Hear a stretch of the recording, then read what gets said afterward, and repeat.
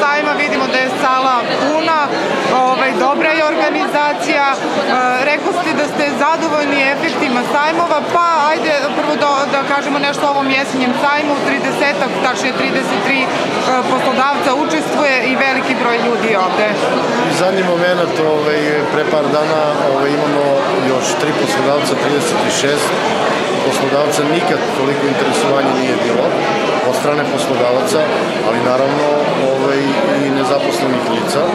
Kreirana su više od 450 slobodnih radnih mesta. E, šta da kažem, ja sam e, prezadovoljan, naravno da iza ovoga stoji veliki radni trud svih u filijali našoj. E, mogu bih da kažem što se tiče sajma, da je konačno sajam kao mera nacionalne službe prepoznat i od strane i od strane nezaposlenih lica da je ta mera vrlo jeftina što se tiče nacionalne službe u finansijskom smislu, ali da je vrlo efektivna, da daje puni efekt. Dakle, ja sam rekao oko efekata sa prolećnog sajma, negde 40% ljudi koji su bili prisutni na sajmu je našlo, na, posao. Tako da od 300 kreiranih radnih mesta 125 ljudi se zaposle.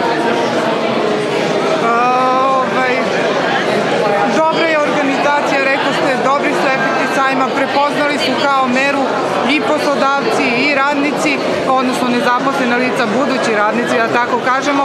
Oni su ovde da predaju svoje CV-e, a poslodavci će na, na osnovu toga odlučiti koga će zaposliti. Naravno, naravno.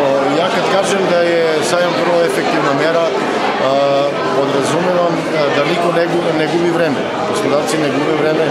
U roku od 3-4 sata oni imaju prilike da se susretnu sa nezapošljenim licima, da ih procene, da obave razgovor, da nezapošljena lica ovaj, kažu svoje kompetencije, svoja znanja, svoje dodatne ovaj, neke, neke kompetencije i tako dalje i da praktično nađu, nađu posao. Različite zanimanja su ovde ponuđena od mlekara do inženjera.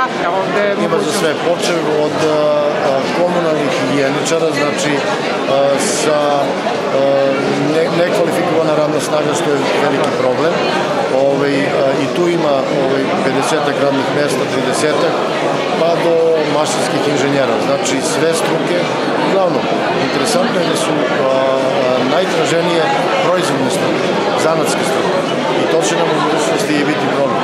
S obzirom da formalno obrazovanje ne može da proprati ovaj, celu ovu priču. Radit ćemo verovatno ovaj, sve više na prekvalifikacijama, dokvalifikacijama. Jeste da to će državu dodatno da košta, ali to je, to je budućnost.